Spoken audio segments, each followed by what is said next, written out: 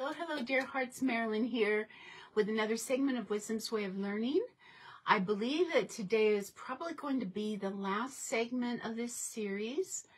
I'm going to be uh, addressing the Unit of Life notebook project, the sixth and final um, application of notebook recording that I have been discussing for the last few weeks. I found some things to show you that I I didn't have at hand um, on the last message that I had wanted to show you. So I had been talking about my son's uh, woodworking projects, and I had shown you uh, just a couple of things he had made, and and I had mentioned this uh, walking stick, and so I wanted to show this to you because he hand carved it, and it's just beautiful. This is the handle right here, and you can see that there's a delineation right here, um, indented, indented line where he made the uh, place for me to just hold on to the stick.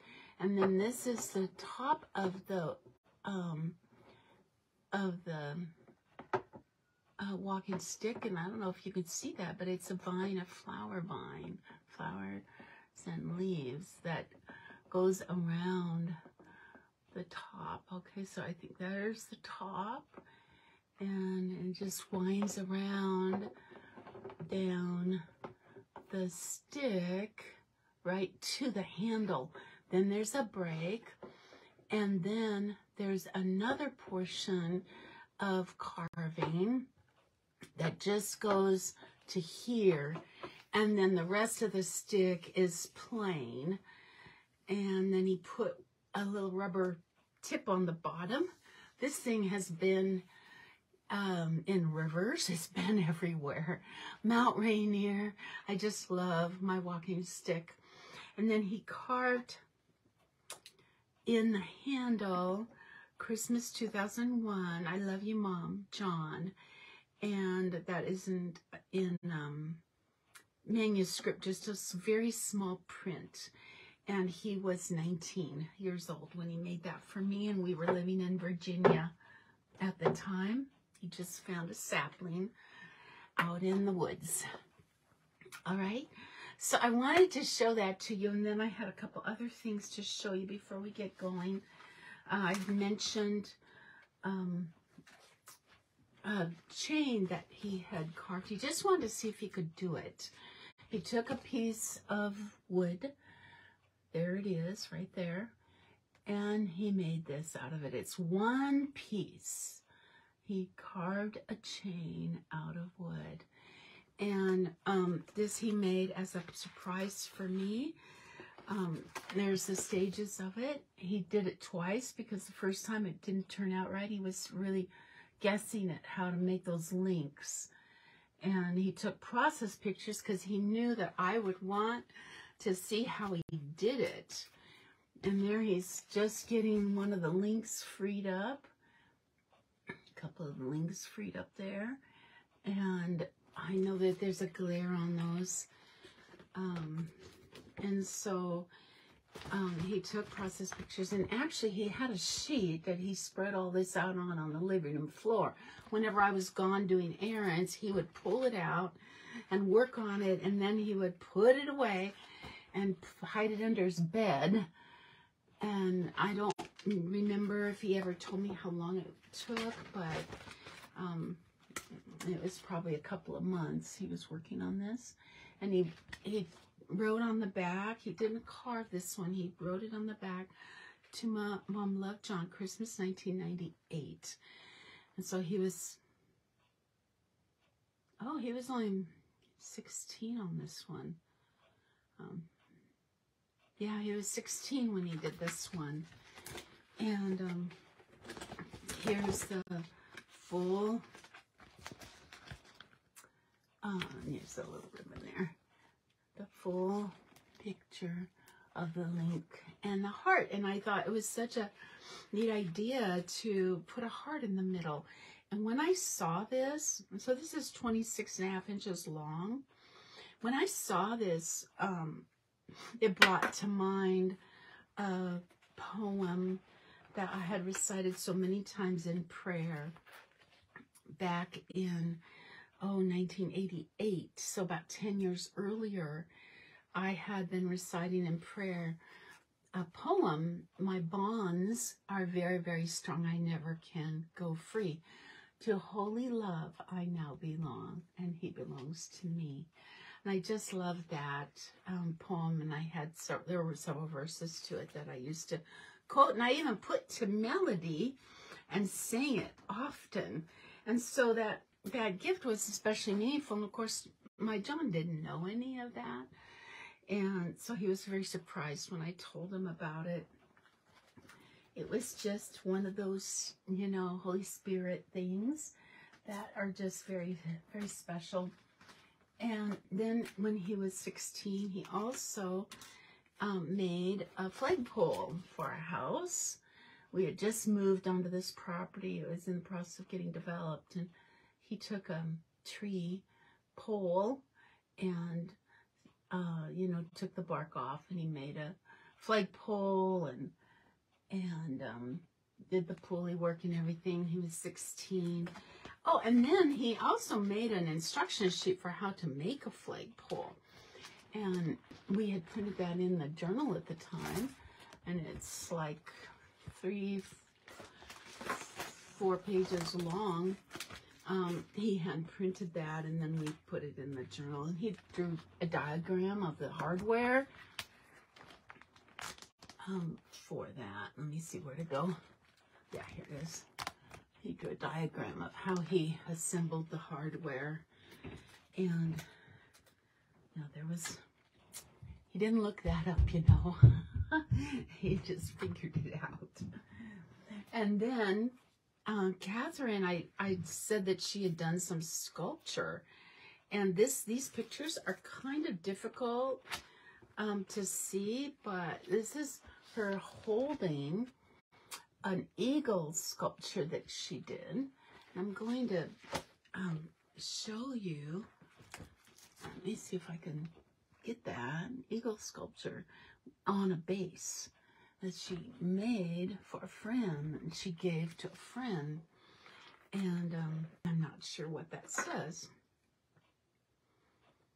It's a scripture from Isaiah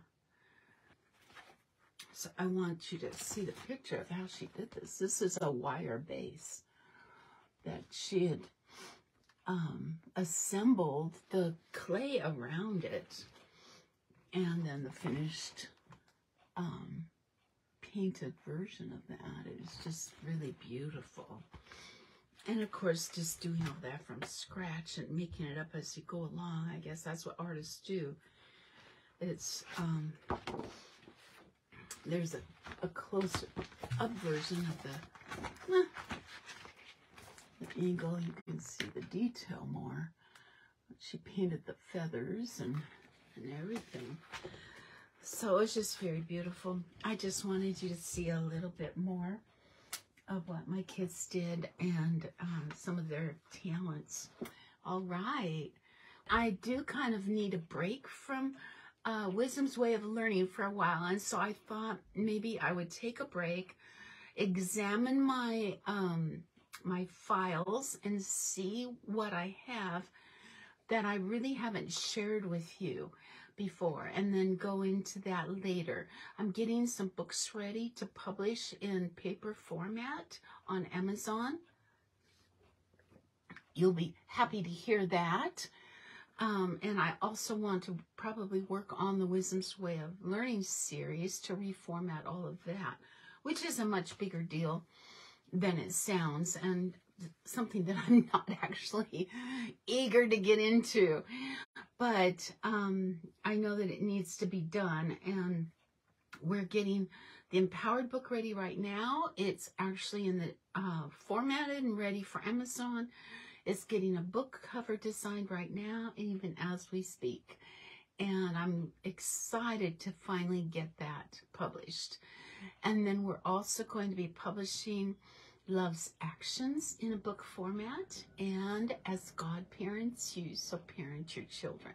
So we'll have three books that are actually in process of getting ready to publish on Amazon. So that we have hard copy books that you will be able to give to your friends. And we'll get that those passed around I think much um, more likely passed around than just a digital version does. All right. So that's where we're at with um, our publishing efforts. And if you have any questions whatsoever, or if you have anything in particular that you would like me to cover more of, I would truly like to know it. And you can post that right here or um, under the video in YouTube, on YouTube, or wherever that you find this video, you can post your requests. Uh, you could send an email to admin or to Marilyn Howshall at marilynhowshall.com. You can send email there or to the admin at marilynhowshall.com. Um, however you find to send a message other than I really don't like private messages from Facebook. I don't like to get on the uh, messenger and I don't get on Facebook hardly ever except to do these videos and um, check on particular things that uh, with people that I am communicating with regularly. But other than that, I'm not getting on Facebook. So please send messages uh, in the ways that I'm asking you to, but I would really like to hear from you. And um, let me know um, if there's anything in particular that you would really like for me to cover. I'm not in your life, so I can't see what your particular needs are. I know that we've covered a lot, a lot of material in this series, and and honestly, I think it would be worth it for you to go back and review it uh, in the context of the whole picture of everything that we have been covering, and see where maybe um, there might be a gap in your understanding that you would like me to address a little better. All right, so I would appreciate that, and then. Um, I'm going to talk today about the Unit of Life Notebook Project. And of course, you're all familiar with my daughter's bird book. And that was the book that, um, that inspired this, um, this project, one of the applications of the notebook method. And um, I believe that it is a great culmination uh, project for a period of avid um, childhood learning to be uh, produced in a in um, product form uh, demonstrating some of the things a child knows and has been learning.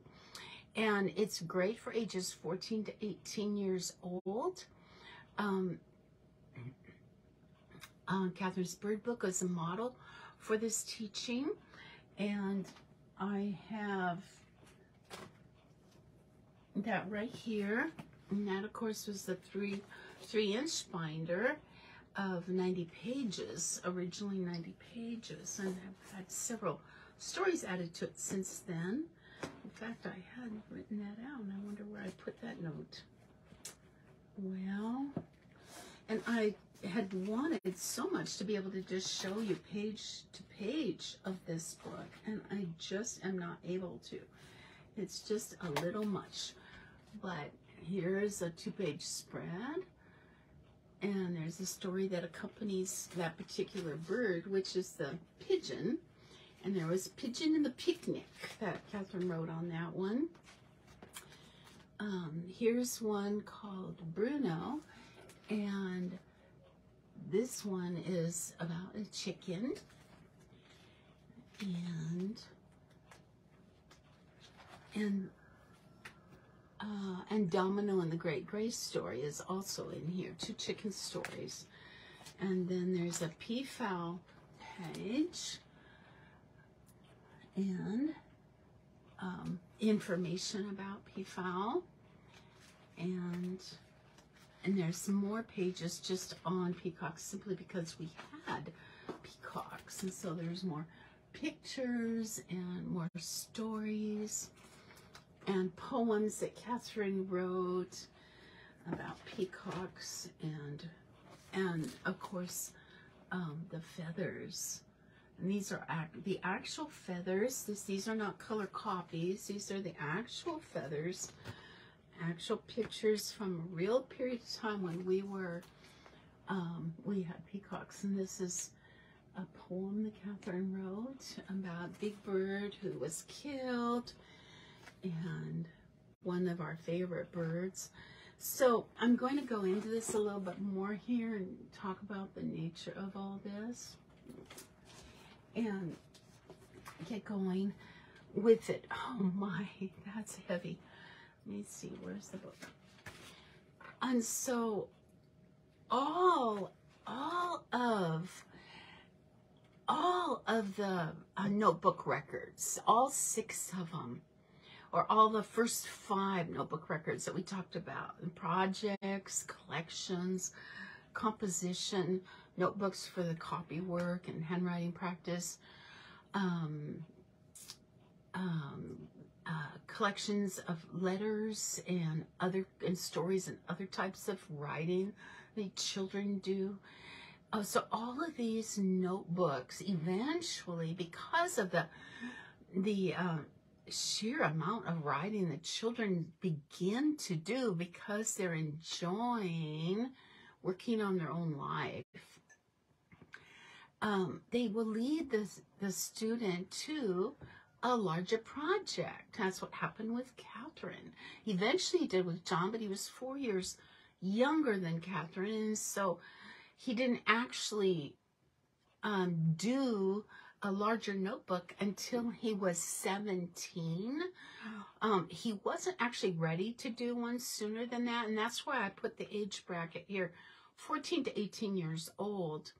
It depends on when they learn to read, write, how fluent they are, how much they enjoy reading and writing.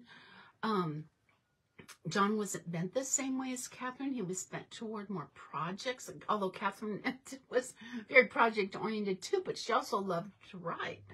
And so that was in her favor.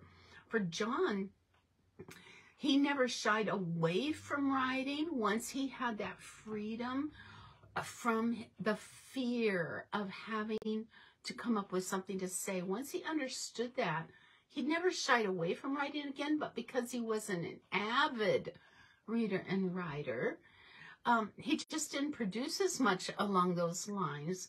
But like I just showed you, he wrote a five-page instruction sheet by hand on how to make a flagpole. And so there's there's um, skills in that that aren't just about writing. You're having to break down the steps of how to do something to show someone else how to do. So it's a little bit more detailed work than just writing some kind of fiction story, um, a small fiction story. You can make that up as you go along. You don't have to uh, be as detailed in your expression as as if you're as when you're actually trying to teach something. And so he actually did develop some skills doing that. And and so I wanted to um, make it clear that it doesn't really matter um, when a student decides that he's ready for such a project.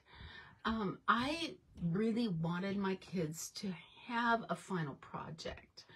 It didn't matter for me, it didn't matter to me um, what that project content consisted of because I was way more concerned about the skills of learning than about the content.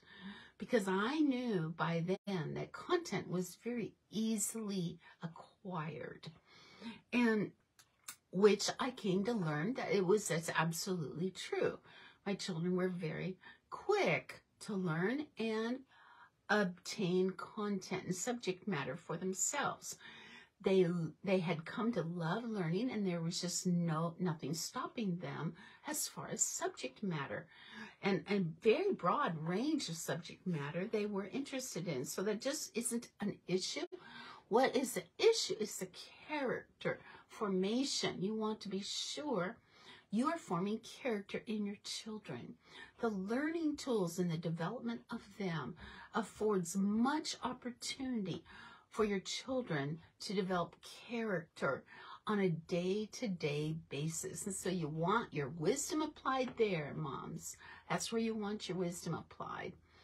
So this bird book is a more thorough presentation and documentation of a specific area of interest that Catherine had been actively specializing in over a substantial period of time.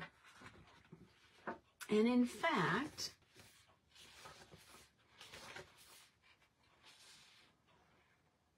for her, I'm I'm remembering that it was actually eight years of collecting um, collecting feathers. Yeah. You see the contents of it. I really want you to hear about the contents of it because so you can see the scope of not only the project itself, but also of Catherine's prior long-term delight directed learning process that produced it. It'll also help you to understand my evaluation of this project. So there were 233 feathers representing 32 species of birds. There were 34 illustrations drawn and colored by Catherine, 37 snapshots. There were bird photographs scattered throughout the book, and six pages are devoted to the documentation of the different kinds of birds' nests from her nature collection. Of course, these are, this is a photo documentation of the bird nests that we still have on display in the nature collection. Um, we took pictures of each of the 11 nests, especially for mounting in the book. Mo most of them are identified. And then there's one photo taken of the bird's eggs collection. And these were found out of season and had been abandoned. And Catherine drew, drew a vertical ruler down the center of the oversized piece of paper and lined up the six eggs horizontally from the largest to the smallest, and each is identified. Also included was a special four-page photo section on bird pellets that Catherine's brother John contributed since this is his area of interest. A series of photos shows John in the process of dissecting bird pellets and cleaning, sorting, and identifying the bone fragments contained in the pellets. There are 30 data cards containing species name, complete description of the male, complete description of the female species, description of the young and similar species. And then, of course, the compositions. There's there were five stories that Catherine wrote and a one-page spiritual metaphor, two short poems, and two illustrated two-page instruction sheets. Um, since then, there was an additional instruction sheet, um, two-page instructions sheet having to do with birds. And there, uh, be, eventually there were six more stories added to this book. And this was before she was uh, 17, that she added these from between the age of 15 to 17, added more pages to the book. There were 17 brief photo captions describing various encounters with birds. There were 120 feather data captions where she identified the part of the body each feather came from, the wings, shoulder, breast, tail, neck, belly, down, crown, back, throat, or face. There were 12 section contents pages and a two-page glossary. And so these content pages were the title pages for each section of the book. There was a two-page glossary with 12 words commonly used in the book and four scriptures. And so that was quite extensive. There were 11 sections just to accommodate um, the different um, categories in the book and then the, the actual title page in the beginning. so um, uh, we used um, cardstock in a subdued color as a backdrop to complement the feature, the feathers. Um, and they're all in protective plastic sleeves, which open at the top and uh, have a three hole uh, punched for placing in notebook binder. And then in the cover, the um, picture that I showed you is a picture of a real bird, big bird, that that was a pet and that we blew up to fit the notebook. So you see, it's quite um, extensive. And I want you to know that the only thing that I did, once I helped her design, because I had to, she had to gather up what she had before we could design the book. I didn't know what she had. She'd been collecting feathers for so long in envelopes. And once she got everything gathered up and categorized according to the type of bird it was, um, we made an outline for what for what to how the book was going to look. And the only thing that I did was make these um, little paper frames to go around the pictures so that Catherine would have, um, you know, a little frame to set off her. Um, here's another one. They're all different colors depending on the bird. You can see that. I just made those on the computer, um, just a little frame, and cut those out. But Catherine did all the other work of this book. And here's a flicker. which is, I think it's just beautiful feathers. Um, and so there's exotic birds, and those are from people who had pets, and also feathers from um, that she found, um, either in a pet store or at the zoo. there's, I think, three exotic birds in that book. But for the most part, it's um, domestic birds. Let me see if I have a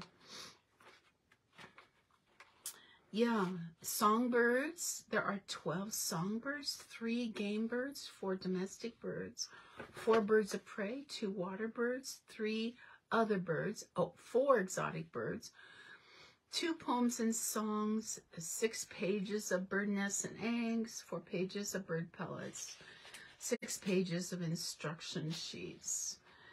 Um, all right, so that's quite an extensive project and the construction process, I, I want to make a point of this.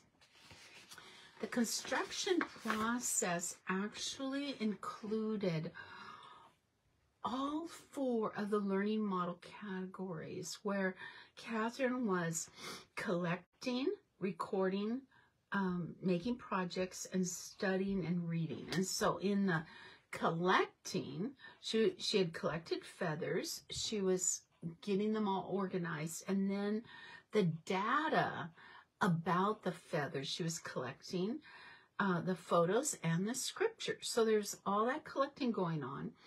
And collecting is, is um, part of research. Then the recording, she did the contents, the title pages, the glossary, the identification of the bird data, the labeling captions, the compositions that are included in the book. This was a five month project, okay, to finish it at 90 pages.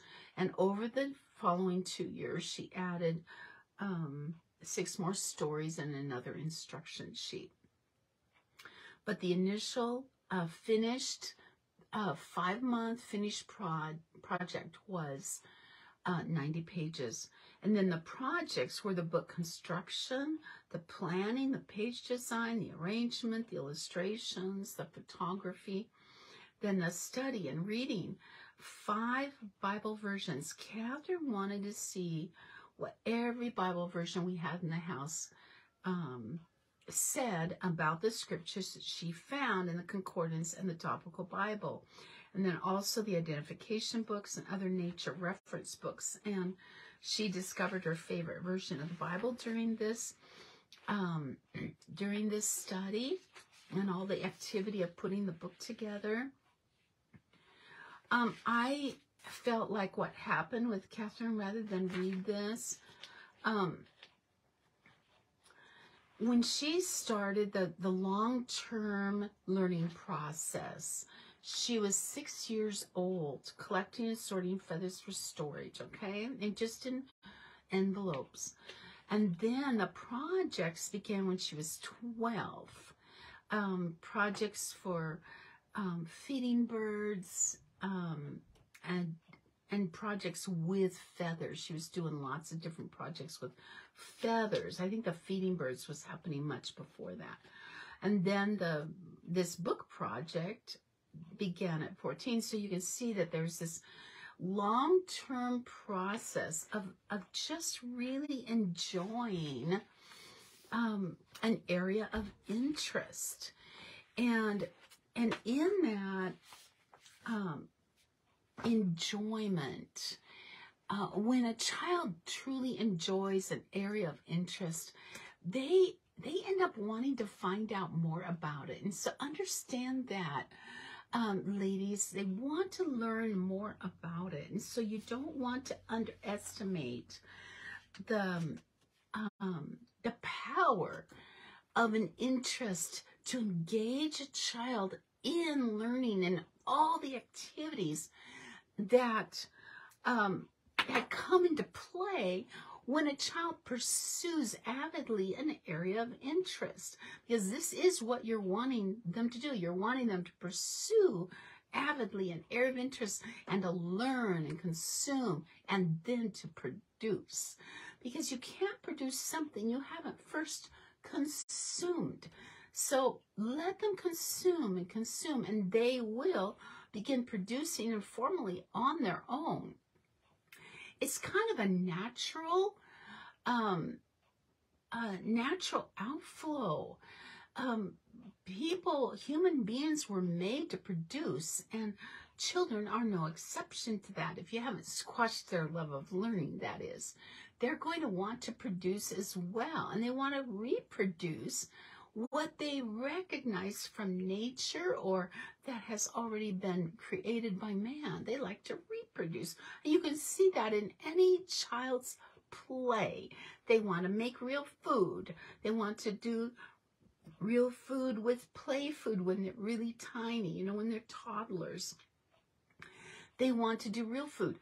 Um, we just had a birthday party for one of the grandsons, and he was so excited when he opened a present and it was real food that he gets to make. It was a food kit um, for children, and he gets to make real food. He got so excited, real food, because he's past the the playing with the plastic food. He's past that stage. He wants to do the real thing now. You see, don't know where that's going to go, but you know they're little and they have lots of exploring to do. So, um, the the unit of life uh, notebook or project uh, should be reflecting a unit of your child's life. It doesn't reflect everything they know about everything. It doesn't have to. It just needs to reflect something they've had a passion for so that their learning tools are finally honed, okay? And then that um, project, actually that activity of putting something like that together prepares them for more formal studies as they get older. And so Catherine, by the time she finished this book, she had just turned 15 and she wanted to do more. And this is where um, uh, the realism hit her hard. She kept wanting to do more and more notebooks and putting everything she knew in notebooks, which is extremely unrealistic. But she had to come to that on her own Okay, she just had to come to that on her own. And so I'm going to show you the next thing that she did was her horse book.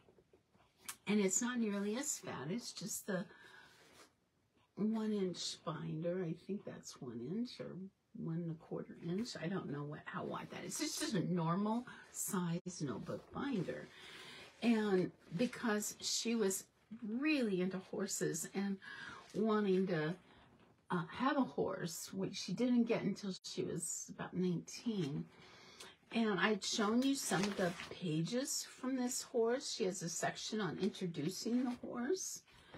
And so she has all the the different um, um, identification markings of a horse.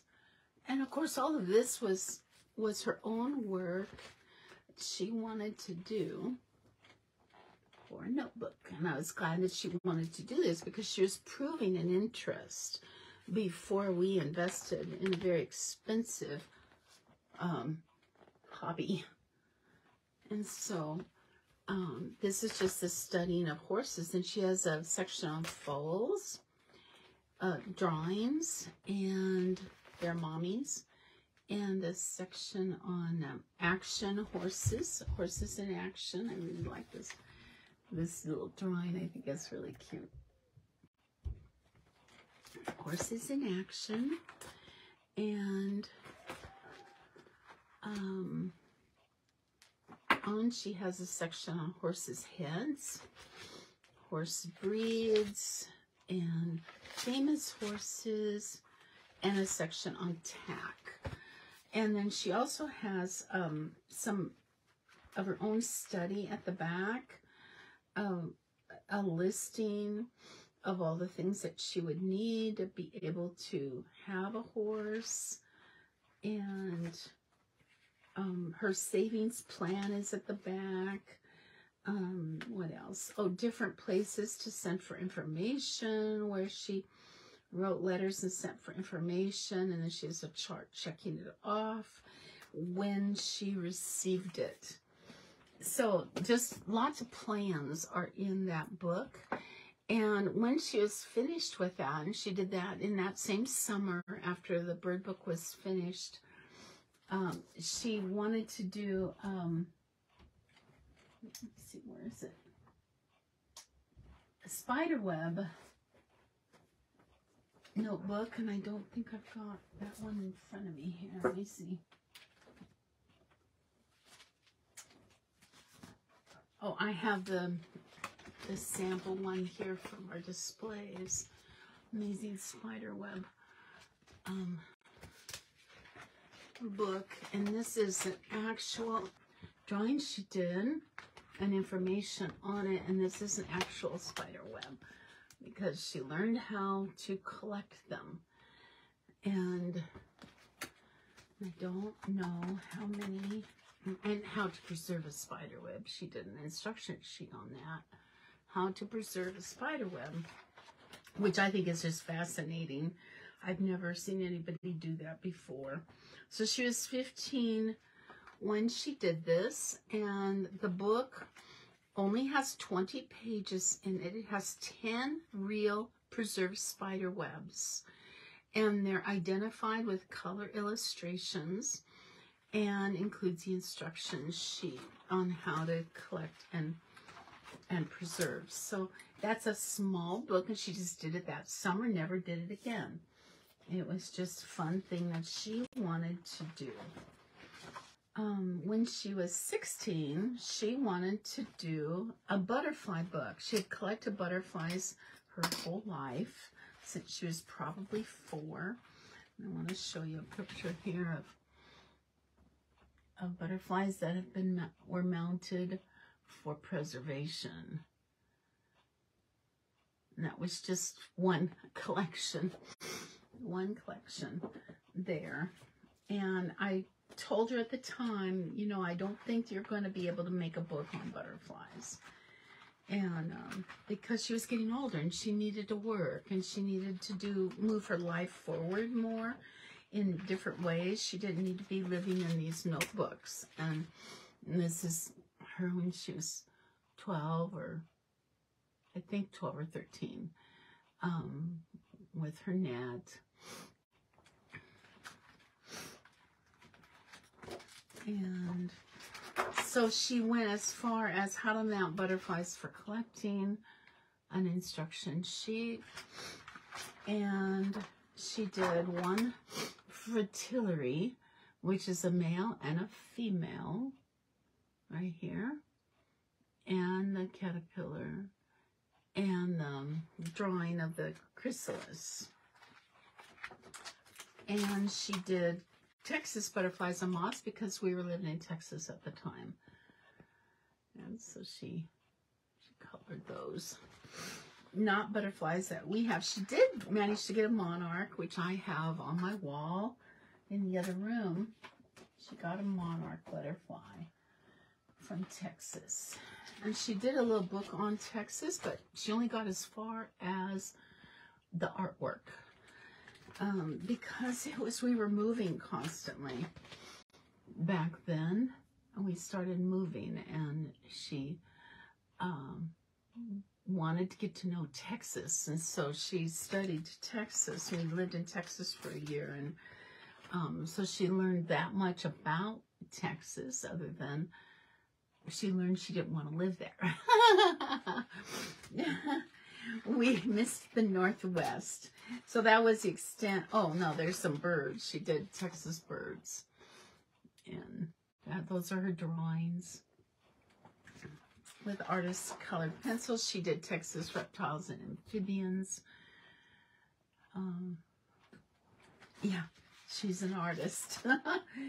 she's an artist. So that's what she did. Um, uh, she did a when we moved to Virginia, she made a turtle book, um, notebook. Um, I don't have that. She has that. Um, but that was all. And I, I told her, you can't put your whole life in a notebook. And she was just having so much fun doing it, you see. John didn't care about making another book. I'm going to show you his where is it? He made one um, of the larger notebooks, and this is his Jetman movie. He did three um, Jetman movies, and he has the some of the artwork from back then. They didn't have the, you know, it was hard to do. It was really hard to make movies. Okay, it wasn't uh, nearly as easy as it is today and a ton ton of work uh, because everything was analog. And so he has these pages where he filmed the the characters. And then he has the storyboard pages of the storyboard. And this is uh, three, five, seven, eight, nine, ten, eleven,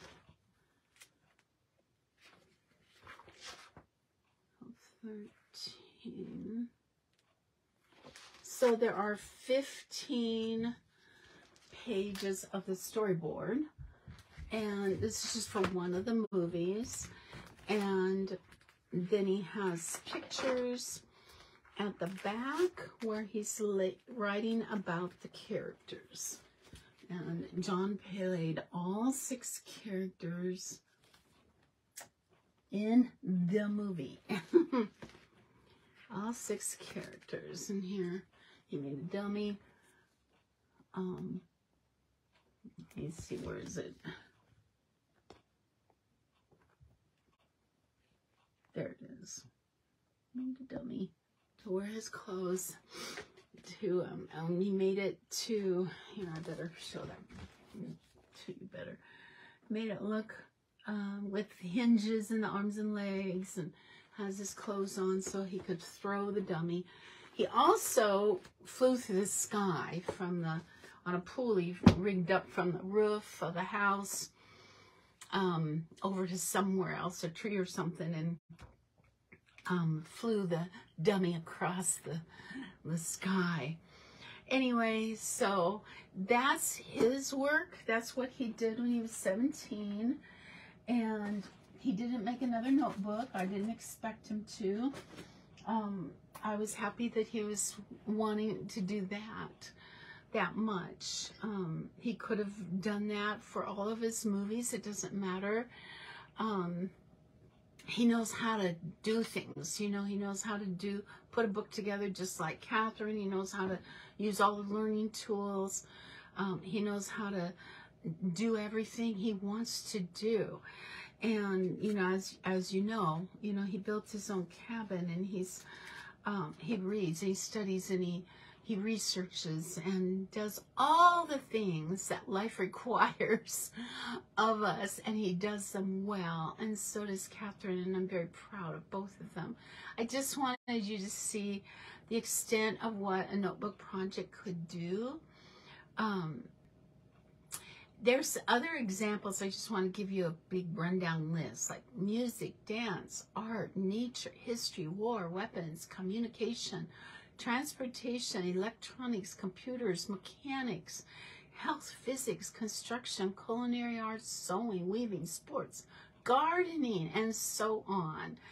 And book projects can require varying lengths of time to complete, depending upon the extent to which a student has been involved with a topic of interest. Um, I would say you don't want something like that to take much more than the five months it took Catherine to do the bird book. They have to really want to live in that. And um, you could do uh, break down nature project books down into themes like Catherine's bird book was a feather collection. There could be a flower book. In fact, Catherine started that as well because she collected pressed flowers that she used for making gifts. Um, there could be geography where you're exploring your own home state with family trips. There's a place to begin. Um, all the stuff of a child's life can be gathered up for examination. It could be um, multiple different types of projects, like John's first projects book that I had showed you when he was 10, only as an older child with more information about, and they're probably more sophisticated projects by then, you see, but he was 7 to 10, and so his projects weren't sophisticated, but maybe um, a child, a boy at the age of 14 just loves lots of projects and he, he's developed his skills and he produces a lot. John did a lot of different woodworking projects that could have gone into a notebook, but we didn't do that. You see, he wanted to do a Jetman notebook. So it doesn't matter what the content is as long as it reflects their life and their interests, okay? And so you have applied skills of writing and talents like drawing and painting and photography, stitchery even. And those are just a few of the mediums. Um, a, ki a kid who likes to paint, all sorts of mediums of painting like acrylics and watercolors and oils, um, things like that. Uh, those could go in a notebook. Um, so you get the idea, but I wanted to show you, go back, I'm going to compare this project to the vital signs of learning. Um, in Catherine's example, she took delight in nature as delight directed, and she actively pursued the feeding and identification of birds for many years, so that's valuably active, and then productively created her own bird feeders, re, uh, instruction sheets, and repeated this process on a regular basis. Um, she made her own nature identification books, coloring books with captions, things like that when she was little. Um, now, they weren't sophisticated, polished products until she was, you know, a little older. She was able to type and make things look better by then. Um, then uh, she was motivated and focused her energies in these learning pursuits, and her study was individual, individuality, and life relational. So there's seven vital signs. You see, it touched her life where we lived. And so all of these vital signs were completely um, in she was completely engaged in learning and demonstrated the vital signs of learning while she was going through all of the play and research, the reading, the projects, the recording, all of the activities that you find kids doing when they want to learn something, right? So, um, I think that's about it. Um, so the project is a true outgrowth of your child's life of learning. And you know what was ha- happening with Catherine is that she just loved doing it. Um, I made a, at that time, my kids had only ever done an hour or less of table time a day. And by the time she was 14 and and uh, able to do more, I had up to two hours, and it's just you know minimum of two hours a day um, four days a week to work on it. That would be her table time. And she got into it and she wanted to do more. And she asked me, Is it okay if I work on this on the weekend? She just, it was like she was hoping I would say yes. You can work on as much as you want to. And so I think it would have taken a lot longer to finish had she not wanted to do that. And so she ended up spending much more time on it over the weekends. I didn't want her to spend much more time on it during the weekdays because I had other things I wanted them to be doing. I wanted a well-rounded learning experience. I, I didn't want them just marathoning. I wanted my kids to learn how to do real life, even uh, through the intensity of larger projects. Which we had plenty of that going on in our life over the years. They grew up in that because we had a bookmaking business and mail order business and I still and all the writing that I needed to do for the journal, I still spent lots of quality time with my kids every single day and I I don't want them ever to get into the mode of not paying attention to their own children, you see, where they're just marathoning projects. I see them doing that today, is that they take time, go for a walk with the kids, um, do other things, um, have the breaks that you need to have, even when you're under a lot of pressure to get a project completed. And yet they don't want to miss out on life, you see? You don't want to miss out on life. And so um, when children are in school, they're missing out on a lot of life. Um, you don't want them to miss out on life. And so I would suggest not more than two hours a day, no matter how old they are, until they're getting ready to go to college and they need to do something and there's a deadline to it. You know, teach them about deadlines and let them grow into that. But while they're growing up, you don't you don't need to be marathoning projects. And that's another reason why I would have allow my kids to have a table set up, craft table if they had a project that was going to take a lot longer than just that day's productive free time because they had like a four hour period of productive free time each day. Um, if it was going to take longer than that, I let them set it up and set it aside for the next day. I didn't expect them to marathon it and then skip everything else that was important for our life that day. You see? Um, unless there's a deadline. You see, if there's a deadline, that's different. But in most of the things when kids are growing up, there are no deadlines. And, um, you know, you know how that is. You can see that yourself. So, um, that was that. So you're fostering both a delight in learning and the ability with which to learn, right? And I don't have anything else that I really want to say about this. Unless somebody has questions, I would really like to know if you have questions. Um, if think just um, seeing how it all came down, um, you can see how fruitful, um, you can see how fruitful the lifestyle of learning in my children's lives has been.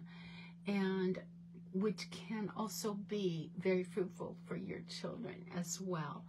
But remember to love your children and know them and don't put undue pressure on them because they actually do want to learn.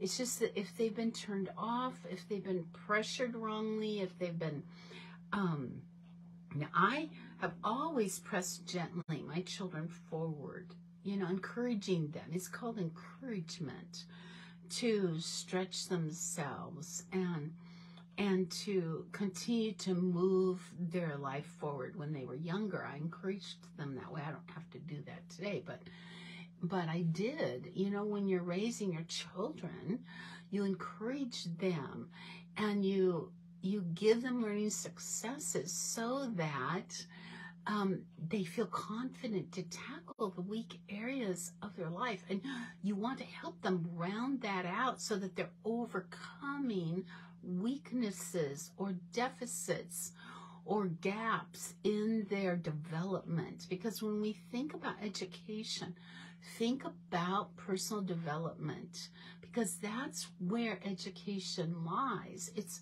education is expressed through personal development. And so so um, guide your children's personal development of the learning tools because then you're also guiding their character development, right?